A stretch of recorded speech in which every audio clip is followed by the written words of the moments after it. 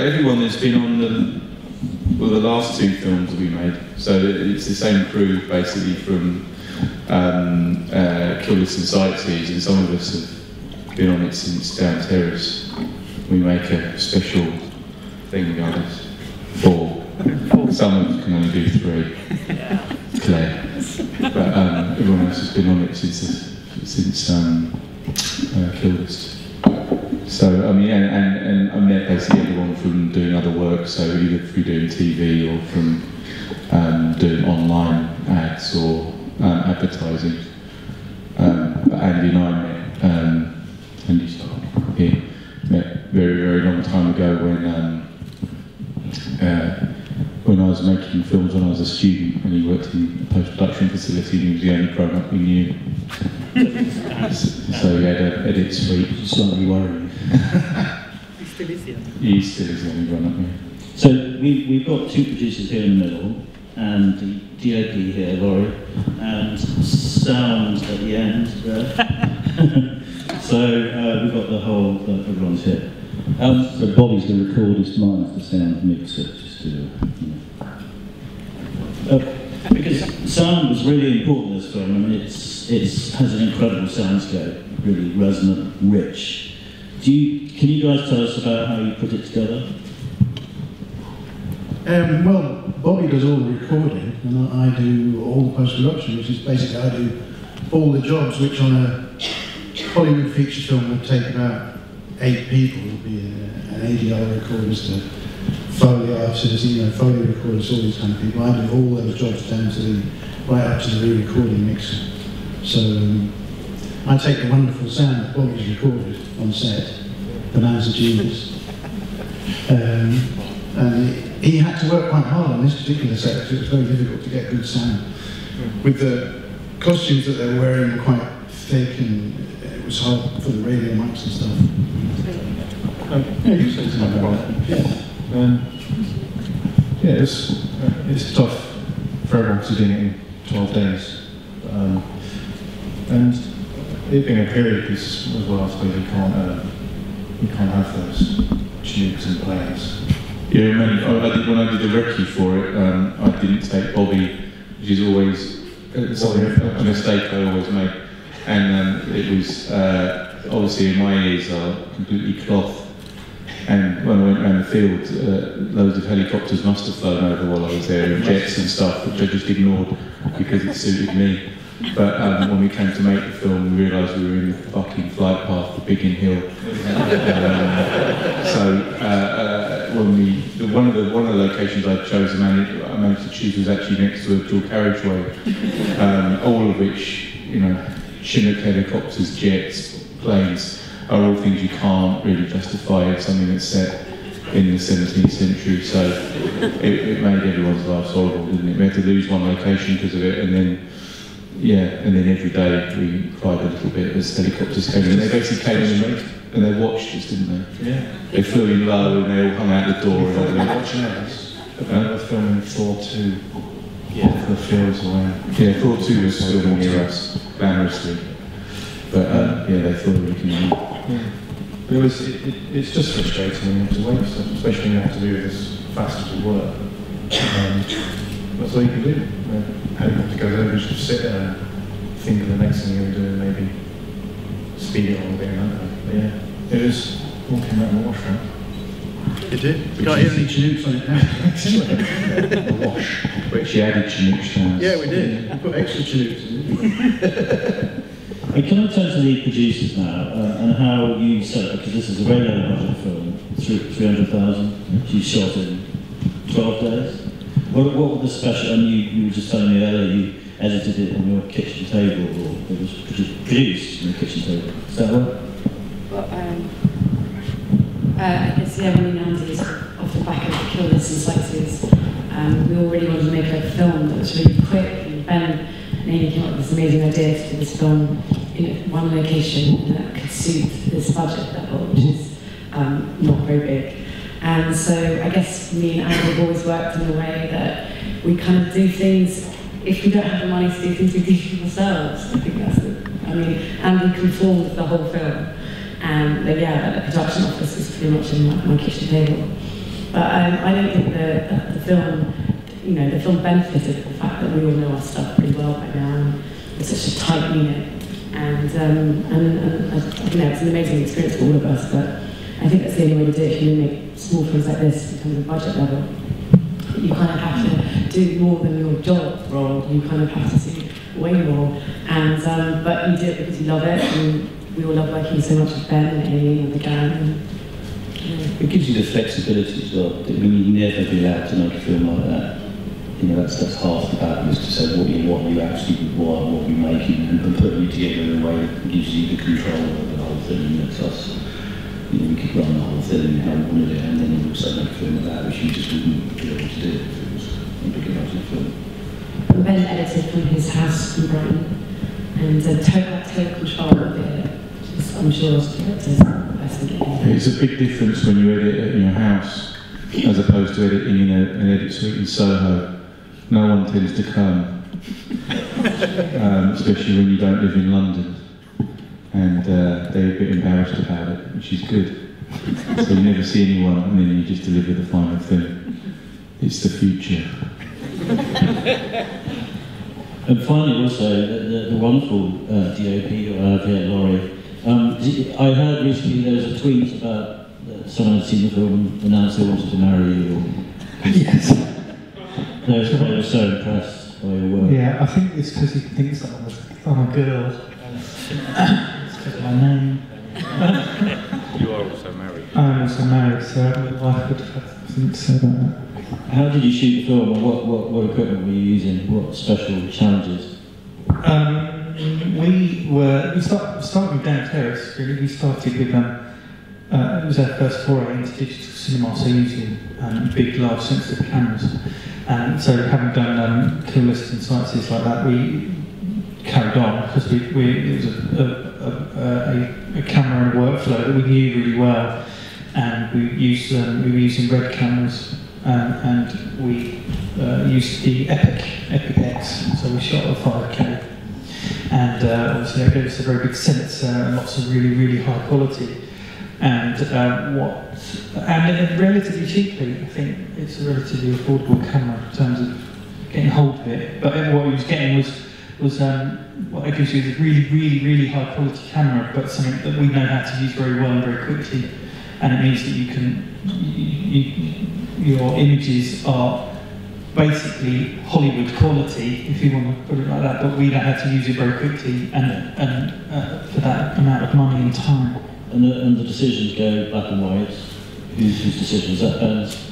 Well, yeah, it's, a, it's something that we talked about for a long time, um, about the simplicity of it, and, um, and, uh, and um, yeah, and it solved, actually solved lots of problems for us in terms of working that quickly, because it meant that we didn't have to stop for sun or, or it, it, it just it smoothed over some of the continuity problems that you might have with different colours of We actually had a badge made on Laurie that it it would be all right in black and white. Yeah. Because everything, it kind of just, it, it just made everything a bit more, um, uh, uh, just evened out some of the continuity for us.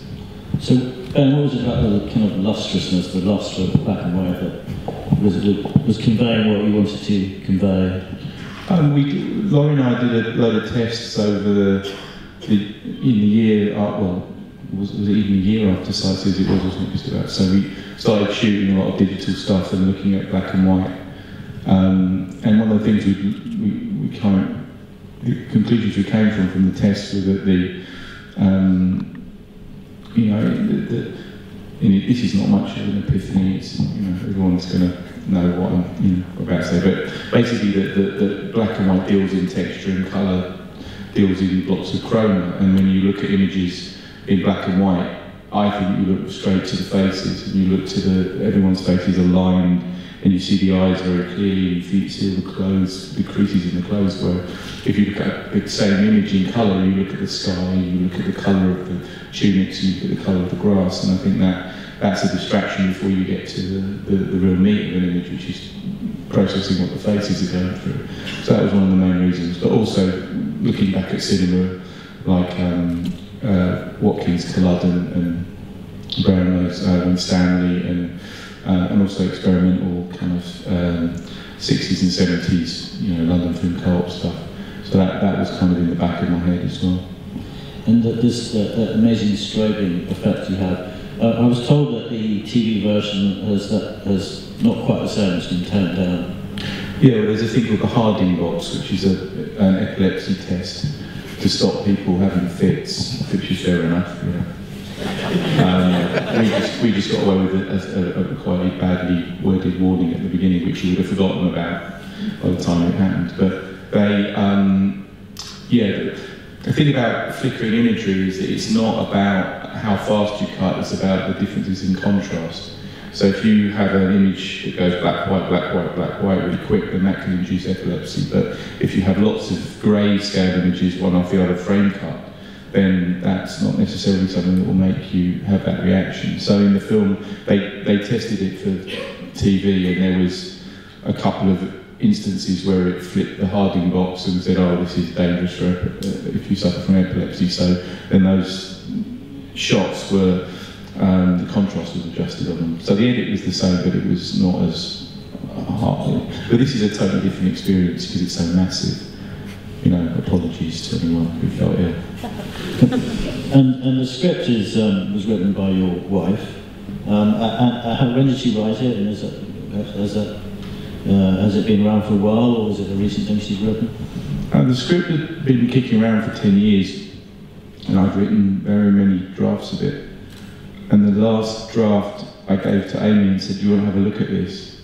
And it was called um, uh, The Giant of, uh, The Bride of Gant, the last draft. And then it came back to me called The Field in England. And the character names had all changed. and the dialogue had changed. the incidents in the script had changed. So everything had changed. It had fucking changed, yeah. and um, and the last bit of writing I did was to cross my name off it. Um, but not in a bad, not in a huffy way, in a kind of, okay, all right, it's better than my script was, kind of a way. But that's our, that's our collaboration, our relationship in writing. That's how it works. We've, we've been writing together for 20 years, so, you know, you learn to roll with the punches. And well, you were telling me earlier one of the reasons you wanted to make this film very quickly is because otherwise there'd be you're working on another project and you just wanted to get something out there. Otherwise, you knew you'd never have time to do it. Is that is that right? Yeah, it's kind of that we, we going into the next project that we knew was coming on the horizon was quite a big budget thing, and we knew that we would be dis- disappearing down the rabbit hole of that production for at least two or three years, and we didn't want to be in the position of um, I didn't want to not make a film for that long. So you know, we had the opportunity to make this, and, it, and it's always it's always there after we made Down Terrace. It's something we, we kind of always promised ourselves that, that there would never have to be a gap in filming because we could always produce something that was, didn't cost that much money, but was still enjoyable to make and you know and was f- fulfilling. Um, artistically, wouldn't be a compromise. So, um, so yeah, we thought, right, we're going to make this, and we did. And how, how have you sort of dealt with people's expectations? Because uh, I'm sure lots, lots of them. do- Have people been surprised that you've made this kind of film at this point? I think people have been pretty generous about it, much more than I thought. to be honest, I thought we were going to get slaughtered in the press about it, and uh, but the, the whole, the general kind of feeling has been really positive. So, um, yeah, I mean, I don't generally think about what the audience is going to think. Sorry, guys, but uh, you know, we make the stuff, and if we like it, then we're happy, and then we put it out, and then you know, so be it after that. And, and the casting and Reece Shearsmith, obviously the major, uh, and excellent in it. Uh, uh, how did his name come up, or did you always have him in mind? I met him at um, the ICA when uh, the first screening of Down Terrace. He'd been working with um, Michael Smiley on Burke and Hare, and I'm a massive League of Gentlemen fan, and I was quite overcome. And I was like, oh, oh, and he said, I liked it. I was like, oh my god.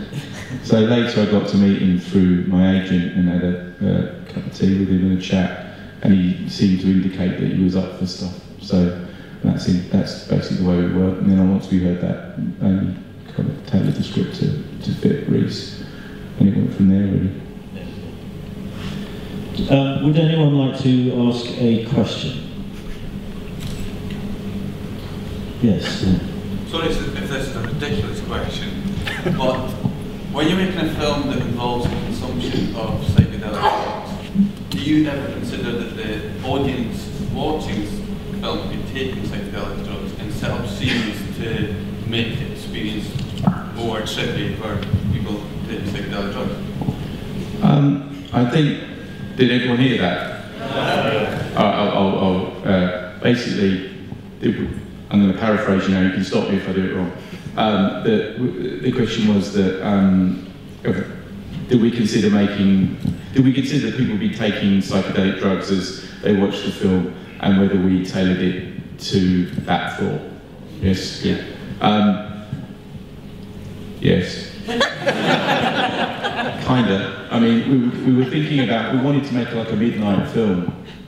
Um, and I hadn't seen one for a long time, you know, and I wanted to make something that would play that, for that kind of midnight audience and also a kind of student audience in a way, that, and they haven't been catered for for a long time in that respect.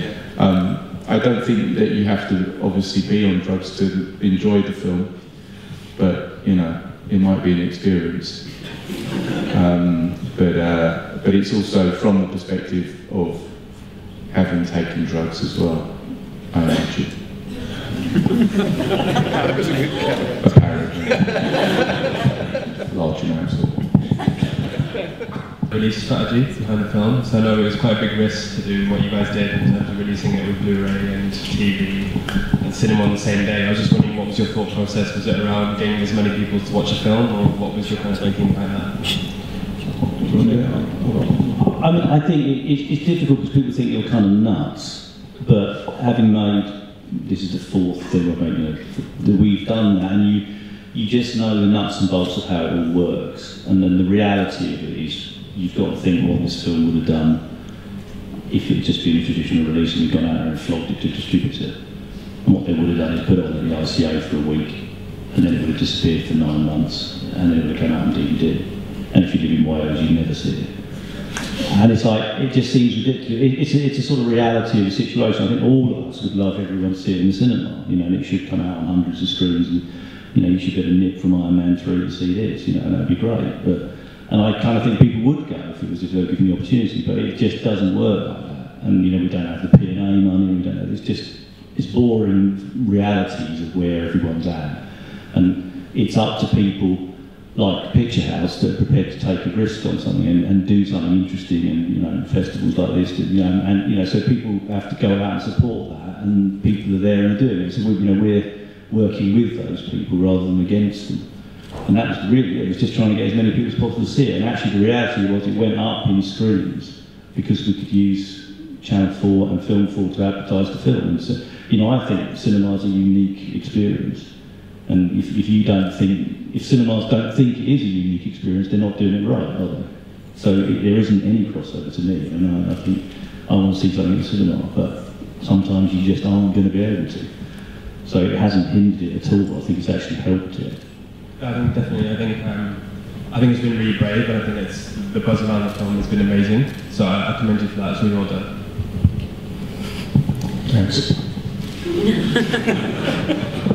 Is it too early to say how it sort of performs in the different? No, it's all on the internet. We're horribly laid bare, exposed, and we're the sort of fools that everyone can find out whether we're idiots or not. But no, I mean, if it's all on the internet, it came out today, like the numbers and stuff, so you can just look and Google it and find it. But it's, it's good. I mean, it's done better than everyone wanted it to do. There was kind of an expectation, and it exceeded that. Film. Film 4 are saying it's done really well. Internet trolls are saying, you know, Yeah, none of us have bought a Rolls Royce quite like that. Uh, there's, it's not just multimedia. You've got you've got a beer. Uh, there's a beer. There's a, no, um, there's a, Yeah. that's right. Basically, the whole the whole thing was based around that beer. they came to us, we got, they said, we've got a beer to flog, what can you do? It's called a field in England, and I'm like, oh, Jesus. That's a lot. And sound guys, tell us a bit more about this the, the, the vinyl record that's coming out, uh, limited edition. I don't know anything about the vinyl record. You do, you were, you were on it. I've got a side on the vinyl record, which is nice. Um, yeah, it's, uh, it's three sides of Jim Williams, who does the kind of uh, melodic part of the score.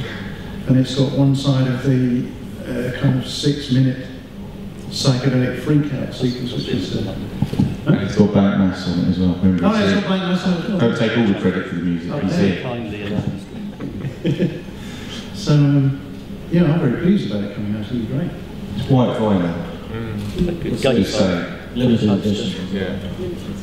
500 copies. 400, we've got to give 100 away because we get, people get upset.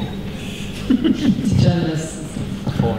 So you can 100 away. I didn't get it. Uh, awesome. Uh, any other questions? big pieces of special planning you have to do to pull off something like that in 12 days on any level? Because I imagine it's push. Um, the, the main thing with making something that quick, and it, and you know, in the history of cinema, it's not that quick. You know, it's like there's a lot of Roger Corman films that were turned around quicker, and Shock Corridor was done in 12 days. You know, but it, it's about planning. It's about pragmatic filmmaking. So you, once you know what you're going to do, how much it's going to cost, and how many days you like to shoot on, then you write the script rather than the other way around. It's when you write the script that's full of locations and actors and special effects and set in space and, and underwater with CG creatures with hair. And, and then they tell you that it's going to cost 300 grand and then you, you're fucked. And that's when budgets become Sorry. that's when budgets become a problem. But when you um, when you know what it is and you plan it from the start, then then, it, then not so much. And I, you know, I felt that um, the, the the whole shoot for me was never a compromise. We never we never went over with we went over ten minutes one day. I mean, that was uh, the worst we ever It's just the light more than anything. yeah.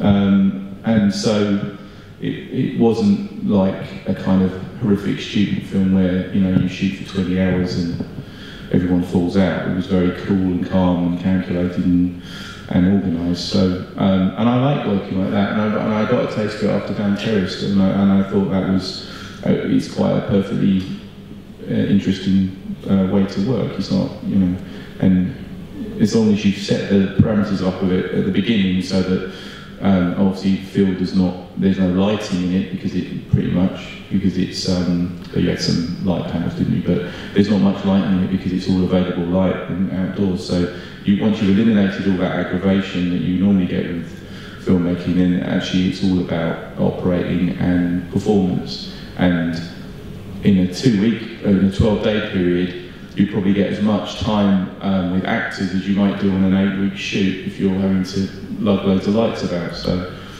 um, in a way, yeah, for, for us, it was all on screen.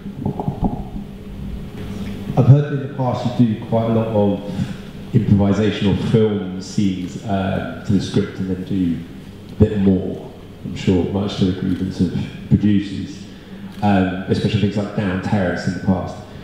Was that the case uh, in this film, or did you stick more to the script since it's more stylized? Um, improvisation in films I've done have never been to the grievance of the producers. Usually because it, because I work really quick, so it's not like you know I'm, I'm kind of standing there going, I want more time to film this. Usually we're way ahead of schedule because we work fast because of our crew. Um, on this one, we tried. We thought we would carry on the same technique. What I usually, what I've done on the first three movies is um, we do improvising. We do we have a script and then we do a, a, take on the script and then we do a take that was paraphrasing the script.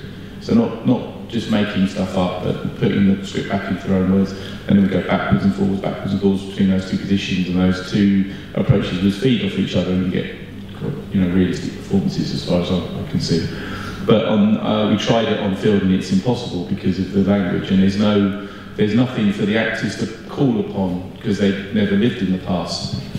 It's tricky. I remember uh, them, them trying it, and all they would do is just say the script, but with pauses in between Yeah, yeah, yeah. because they can't um, have any language to or go, yeah, in the middle of it or something. so it was a, it was a cock up and it didn't work.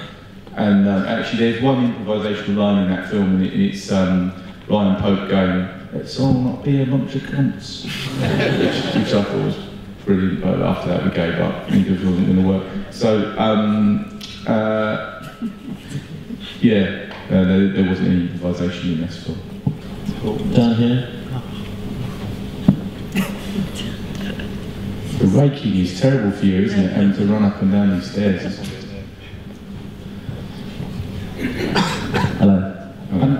wondering, with the Civil War um, setting, whether there's any particular uh, political social ideas being explored? Yeah.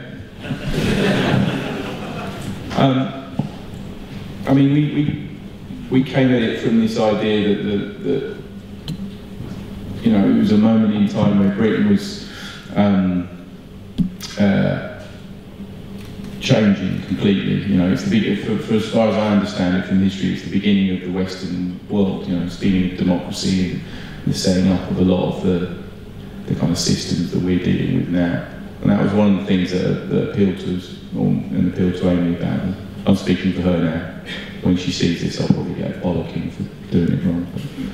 But, um, that was one of the things that really um, appealed to us about it. Um, and also that we, we, did, we did this research and we found that, you know, that, that there's plenty of kind of written diaries by um, people, but, but the actual the lower ranks, there was no recorded history for them, and no one knows what they wore, and didn't really, their stories weren't told. And that, that was kind of appealing. We wanted this idea that you, that, that anything could have, like, you know, at that point in history, it was so radical, and everyone, loads of people were thinking in, in very, very different way and reinvent, reinventing the country, that there might be little pockets of the country that had this thought that, that weren't reported, and that you know, that anything, you know, the way that the whole thing had happened is that people had come from nowhere, like Cromwell had kind of, he wasn't like the most expected person to take over the country at that point, but other people were there in, in the mix that could have done. And these guys were, were in a corner kind of doing their own thing, which was really important to them, but they could have risen up and been, and, and taken over the country. So um, it was just looking at those bits of like forgotten history in a way. Um, that was one of the, one of the things we were thinking about, and that the field was like a blank uh, page where the new country was being written on. Um, but also it was a story about men who didn't know each other, getting to know each other, and, and then, then Whitehead's basic of being a coward to being a hero. So, you know, there was a lot of stuff we were thinking about. Yeah.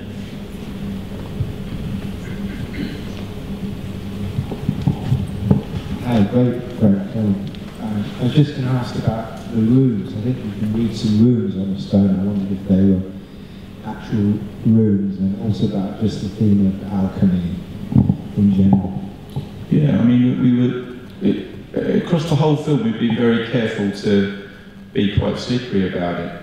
Like, there's no, even though you know people have been saying it specifically in the Civil War, there's no dates in the film. It's very, it's very slippery about when it's actually set. Um, and the runes themselves that he vomits up, some of them are real runes and some of them are made up.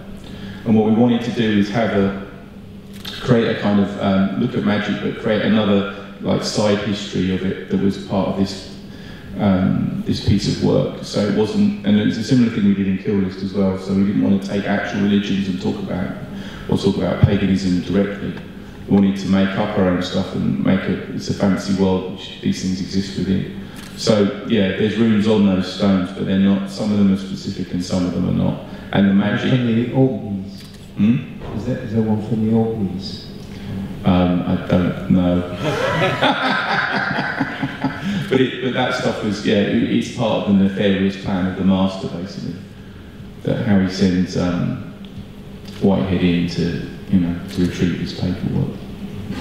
Um, what was it about the uh, English Civil War setting that you thought would make it good for a psychedelic film? And um, was it always going to be psychedelic, or did you have the Civil War idea after that?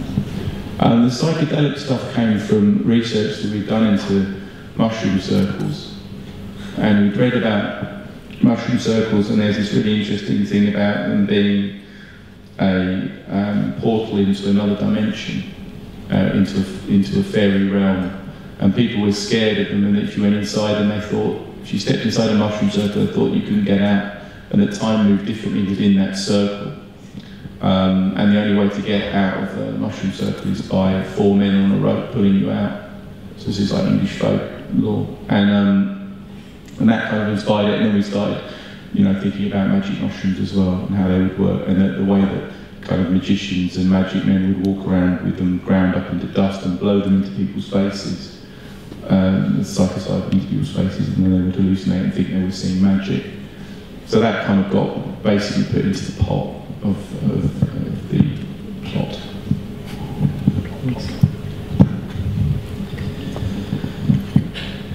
Where, where was the uh, location? Was that easy to get to? Did everyone just go home afterwards? Were you called No. hotels and Um, we went to Surrey Farm. what was it called? We all stayed at the same hotel. I think um, when you're filming like that and you're filming in 12 days, you don't want to go back home because it's just a bit weird. We were supposed to stay in tents, weren't we, initially? That was the idea. And wear costume, but that... I was going to, was going to be living. His, we were going to do it as living history, but realised that once you got, you save money by having a cast of six, but their clothes don't change. If you then dress the rest of the crew in, in period costume, Well, actually, I worked the numbers up. It was yeah, really it was really expensive, which it really broke my heart. And we wanted had to have like a, di- a ditch shed with all the technical stuff. 'cause we had to Yeah, it was not going to work, was it? And uh, that, that was the idea that we were all going to live in tents and do a, li- doing it as living history. But um, And was going to cook. yeah, but it, it never happened. such a missed opportunity for? But how, how many fields did you look at before you found? Um, I think we looked at quite a few because there's this thing that obviously Ben um, wanted it to be filled with a, a level of grass that was quite high um, because he wanted men to hide in it. So, and then we had to start thinking, well, what's it, the grass going to be like in, in September? And then we were in July. I mean, who the fuck knows? Um, so these last of farmers, didn't we? He lied, didn't he, basically? He totally He lied. didn't lie, he was, he slightly wrong about it. So we saw it when he was up here and he said, oh no, it'd be like this. And it wasn't. No, it wasn't. So they had to really hide in the grass. But we were lucky at the field because it was it was um, a set it was sands, which actually we didn't realise at the time. Yeah, weirdly, yeah, it's like a, the topsoil's like that and then it's sand all the way down. You can kind of see it in the, the way the ease that they dig that hole is like incredible. Because it's, you know, if it was anywhere else, it would be, it would be clay and stone and it would be impossible. But Yeah. That was quite surreal, wasn't it? Because it doesn't look like normal Earth at all. no, it's not. Yeah. it sort of adds to the whole mystery. Yeah, If it was yeah. a normal field, we would be stuck in the mud, wouldn't we? Which would be absolutely dreadful. And, and we have to be really careful of the field because we've got, we've probably lots of your filmmakers, we've got a big crew, they kind of ruin things where they stand. So we had to constantly be careful of not ruining the field. So we had all these paths around the field. It's a big concern actually, Ben, isn't it? Yeah. Yeah, we've done shoots